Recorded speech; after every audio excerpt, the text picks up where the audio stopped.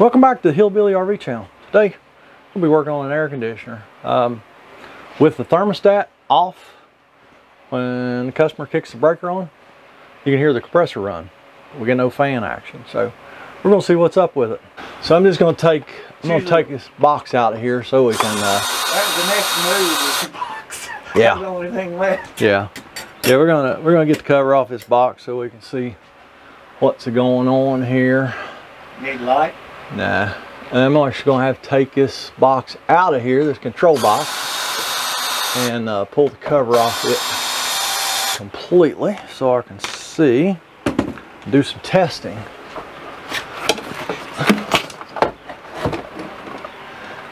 All right, we got that box down. Now we got to get all these screws out of it so we can access the guts of it. All right, so we know the compressor runs because we can hear it running. So what I am going to do is I'm actually going to unplug the compressor for right now, right out of the relay. And we're going to cut the power back on. And I'm going to use a jump wire to see if the fan will even run. On the thermostat, Yeah. it would kick on. Oh, will it? Yeah. Okay, you didn't tell me that. Okay. Oh, okay. Well, you didn't tell me that. Customer didn't inform me that the fan would actually run. So we're actually just going to change out this control box. And this is an old analog box. So we're going to have to go with a newer digital one. So we'll get to see that. So let me go grab a new control box and uh, we'll get started. So we're just going to switch out this control box because since we when we cut the breaker on even with the thermostat on the opposition then it's got to be in this control box. So uh,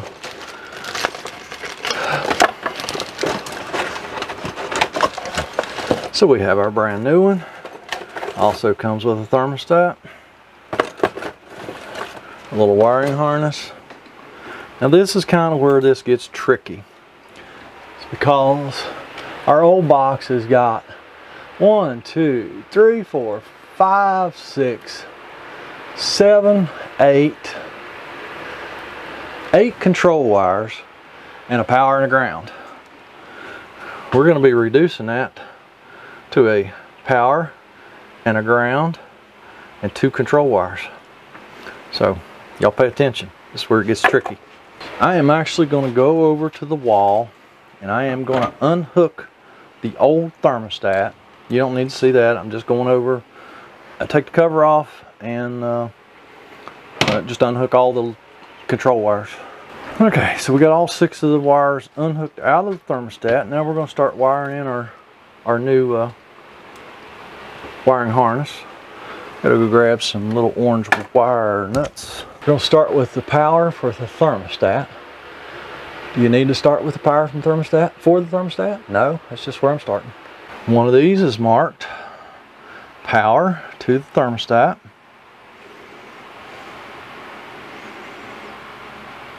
Full volt to thermostat. So we're gonna hook that to the red wire here. All right. Then we are going to not be using the white wire. So I'm gonna just get it out of the way. Not to be using the brown wire.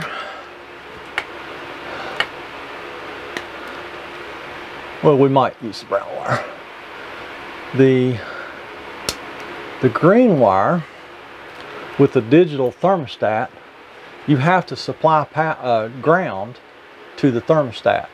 So we're going to make we're going to make the green wire our ground for the thermostat. We're going to hook that into our into our main ground back here. So there's our there's our power and our ground going to the old box so I'm to go ahead and snip that ground wire off and then we're to take our ground wire on our new harness hook that to this ground wire plus our little green wire that's to be going to the thermostat. So we've got three, three wires that are grounds here now.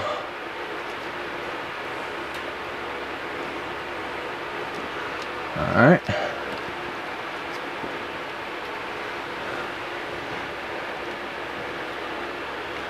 Now, you need to notice which which wires your blue ones are hooked to coming out of the box. The two blue wires coming out of the box, that is your furnace. That's the control circuit for the furnace. So for that, they give us two little spade connectors that go on those and hook to the new control box. After you've done a couple hundred of these, they're pretty simple. But that first one, that first one can be a doozy because there's no instructions for any of this. Actually, I'm gonna go get my good Klein strippers.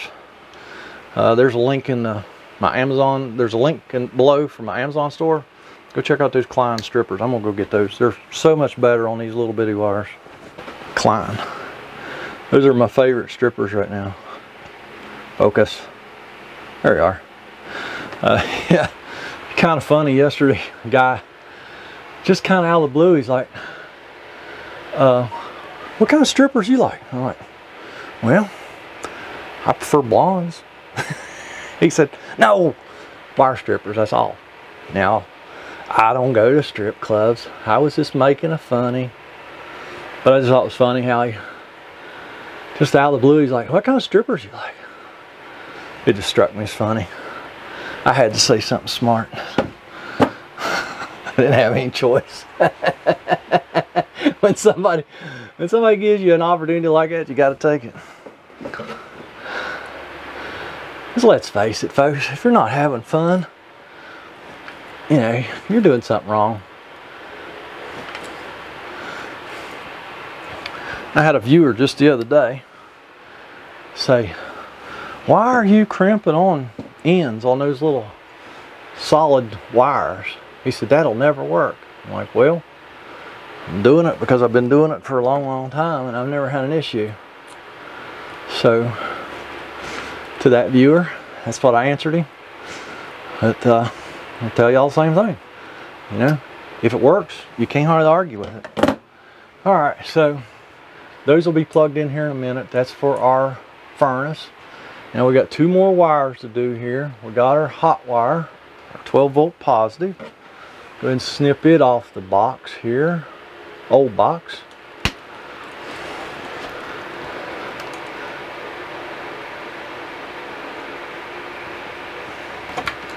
Yeah, these, these Klein strippers are far superior to those old Craftsman that I use a lot.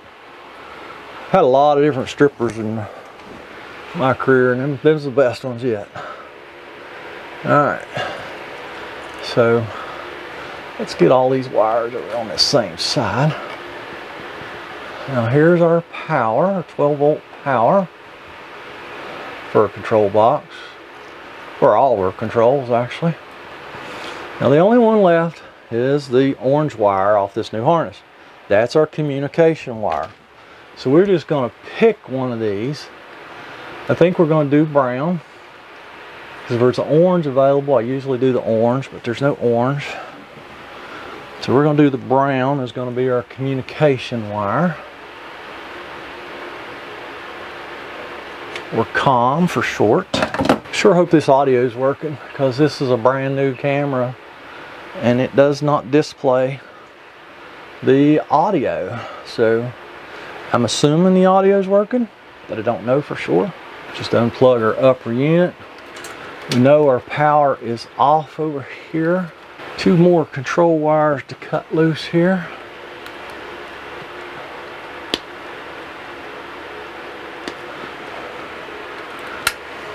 Now I'm just going to get our 110 volt AC wires undone. Like I said, I know the power is off on this because we cut the breaker off.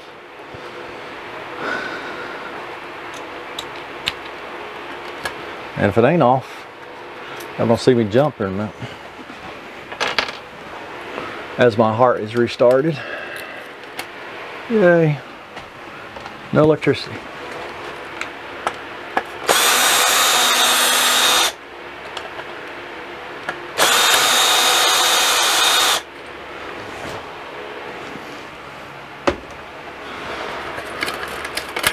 Pull it out, there's our old box.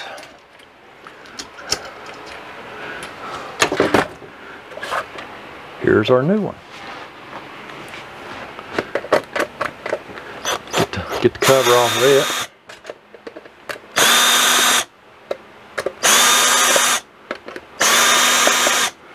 And inside we just have our standard white, black, and green 110 volt wires. So we're going to hook those to our existing wiring in the camper.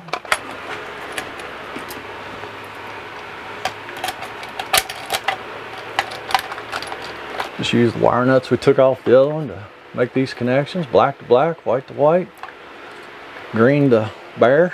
If you're hearing a little hum in the background, which I hope you are, because I hope the audio is working, uh, that's a that's a fan that's running in here because pretty warm day here in southern West Virginia and without that fan I believe me and the customer would be melting right now so. If the sounds bother you sorry. We're not cutting it off though. All right those connections are complete. Tug tug tug. They're all good. Stuff them down in here. Go ahead and put the cover back on this. We're done in there. All right, so now all of our connections here are done. Uh, we just have to plug this in, plug our, our upper unit into our control box. Now all these extra wires, we're gonna leave these here. I usually just double them back and just wrap them right around this cable.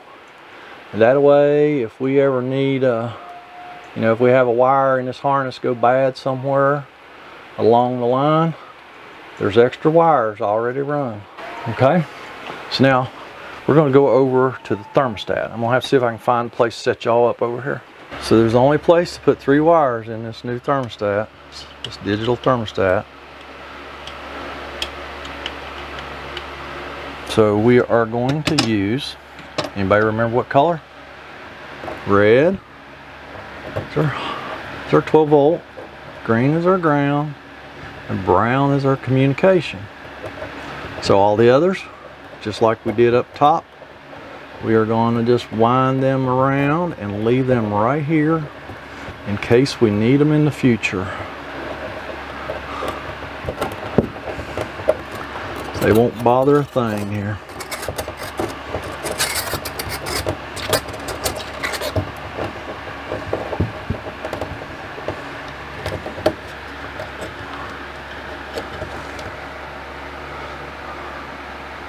So the ground is on the far left. Let me get, a, let me get my pliers here.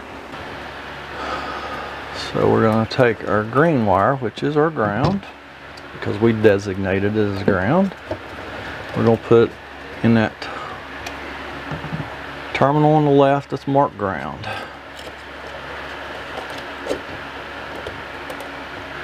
And little wires are really small. My eyeballs are getting old. So we're just to snug that up. Give it a little tug. All right, it's good.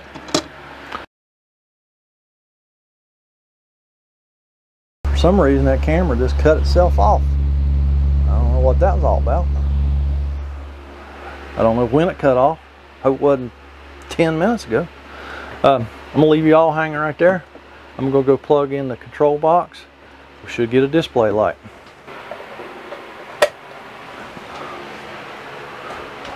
Oh, I love it when that happens. All right, the only thing we got left over here to do is put our freeze sensor in there. And there's no way I can show you that because it's just, uh, this little end right here just goes inside the coils up here and it's mostly done by the Brown method. So just uh, stick that in between two fins, point it down at like a 45 degree angle and just shove it in there. And then it plugs into our control box right there. It's the only little two pin connector on there. All right, now we're going to hook up our two furnace wires that we put the spade connectors on. They go into our control box. You'll you'll see that. It's the only place they'll go. And we're going to hook up our upper unit to our control box.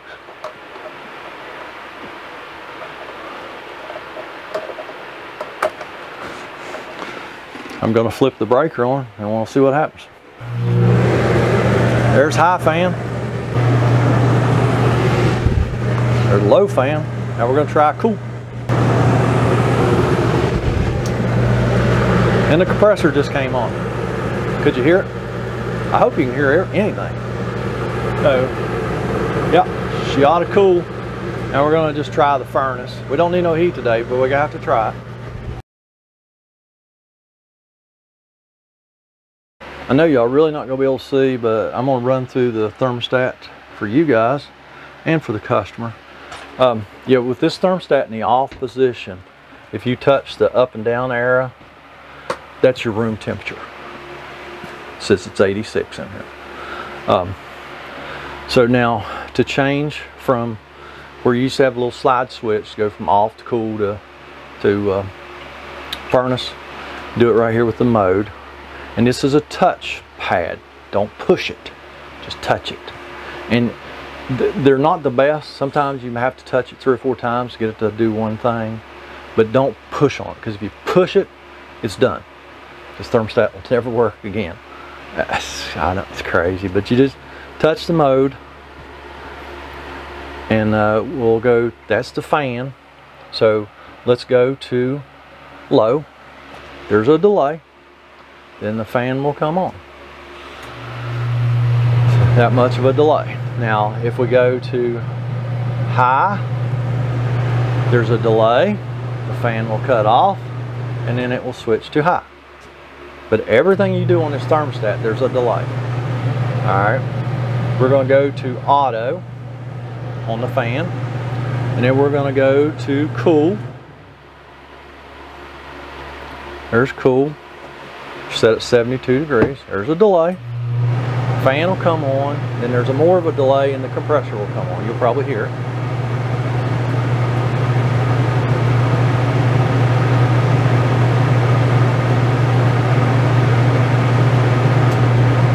There's the compressor. So it should be cooling. Um, I want to show you the, there's something really important here I need to show you. So I'm going to go back to off. The blank, the, the screen is blank and there's a little bitty off down there that you can't hardly see when it's an off. So we'll let this, let this shut down.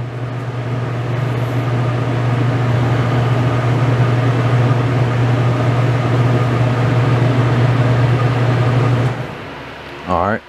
Now, this thing's set up where when you run the furnace, if you want, you can have this fan come on and it will help circulate the hot air near the ceiling. It's a really good idea. Most people just can't put up the noise because it's okay when you're getting cold air out of it, but when it's just circulating air, people can't stand the noise. But uh, you can either, you know, you know, you can do it either way. So what you do is go to fan. If you leave it in auto, then that fan will not run with the furnace. But if you put this on either of the speeds, we'll put it on low, and then we'll go to furnace. We have to run that temperature up to about 90.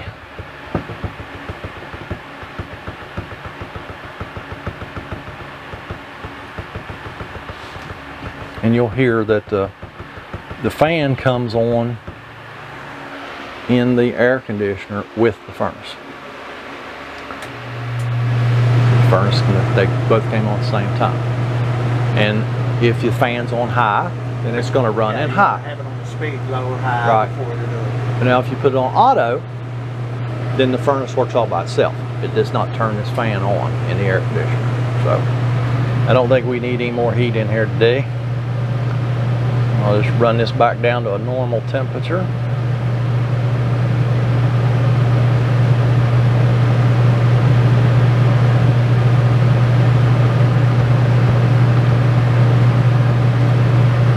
Go go back to off. the furnace takes a while for it to go through its cool down cycle. But it will go off there in a minute. So we're gonna put this, uh, we're gonna go back to fan. We're gonna put it on auto. Uh, just because the fan will actually circuit, uh, it'll go on and off at, with the air conditioner. We're gonna go back to cool. We're on 72. We're just gonna make sure it's gonna cool good while we finish buttoning up. Um, all we have to do, all we have to do is just put our control box back up in the uh, in the air conditioner, and uh, we'll call this one good.